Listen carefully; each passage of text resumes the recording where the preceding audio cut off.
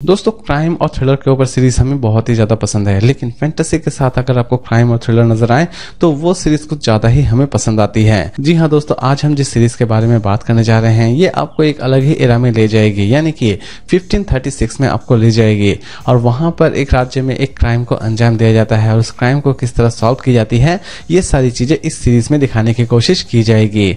जी हाँ दोस्तों, मैं बात करने जा रहा हूँ सार्डलेक वेब सीरीज़ के बारे में, जिसे फाइनली रिलीज़ कर दी गई है डिज्नी हॉटस्टार पर सीरीज़ फ़िलहाल सिर्फ़ इंग्लिश में ही रिलीज़ की गई है। सीरीज़ की स्टोरी बहुत ही ज़्यादा फ्रेश है। यानी कि इस सीरीज़ में किसी भी तरह की आपको न्यूडिटी नज़र नहीं आने वाली होगी। इस सीरीज़ के टोटल फोर एपिसोड रिलीज़ किए गए हैं। हर एक एपिसोड लगभग 44 टू 50 मिनट की है। यानी कि ये सीरीज़ थोड़ी बहुत लेंथी ज़रूर है। तो दोस्तों, चलिए जानते हैं थोड़ा बहुत इस सीरीज़ की स्टोरी के बारे में। कहानी की शुरुआत होती है थॉमस से, जो कि स्कारलेट नाम के एक डिटेक्टिव को एक छोटे से टाउन में भेजता है, जहाँ पर एक कमिश्नर की मौत हो जाती है। यानी कि हत्या कर दी जाती है। और लास्ट तक सार्डलेक इस केस को किस तरह सॉल्व करता है, ये तो आपको इस सीरीज़ को देखने के बाद ही पता चलने वाली है। तो दोस्तों, अब बात करते हैं इस सीरीज़ की प्रेजेंटेशन के बारे में। तो दोस्तों, जहाँ तक इस सीरीज़ की बात है तो सीरीज़ बहुत ही ज़्यादा स्लो है। यानी कि सीरीज़ के चार एपिसोड भले ही रिलीज़ किए गए हैं, लेकिन ये चारों ही एपिसोड आपको बहुत ही ज़्यादा स्लो लगने वाले होंगे। एटलीस्ट इसके तीन एपिसोड तो आपको सच में बहुत ही ज़्यादा स्लो लगेंगे।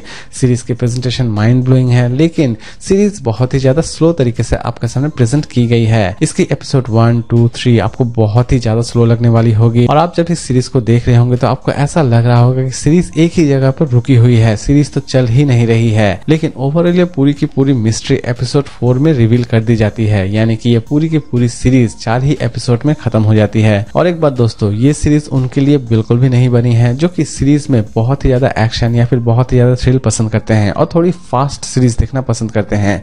क्योंकि सीरीज़ बहुत ही ज़्यादा स्लो है और थोड़ी बहुत आपको बोर भी कर सकती है। यानी कि इस सीरीज़ को देखते वक्त आपको अच्छी खासी उबासी आ सकती है। लेकिन दोस्तों, जहाँ तक स्टोरी की बात है तो दोस्तों स्टोरी भी आपको इस सीरीज़ में एवरेज ही मिलने वाली है। तो दोस्तों, अब बात करते हैं इस सीरीज़ की रेटिंग के बारे में। तो दोस्तों, अगर मैं इस सीरीज़ को रेटिंग दू तो मैं इसे रेटिंग दूँगा फाइव में थ्री पॉइंट वन स्टार क्योंकि सीरीज़ की प्रेजेंटेशन लगभग ठीक ठाक है। इतनी भी बेस्ट नहीं है इस सीरीज़ की प्रेजेंटेशन तो दोस्तों, अगर आप सोच रहे हैं कि सीरीज़ को हम देखें या ना देखें तो दोस्तों, जैसे कि मैंने कहा कि ये सीरीज़ सबके लिए नहीं बनी है। बहुत से ऐसे लोग हैं जो कि स्लो सीरीज़ देखना बिल्कुल भी पसंद नहीं करते हैं और ये सीरीज़ उनके लिए बिल्कुल भी नहीं बनी है। तो दोस्तों, उम्मीद करता हूँ कि आज का ये रिव्यू आपको पसंद आया होगा। तो फिर मिलते हैं एक नई वीडियो के साथ।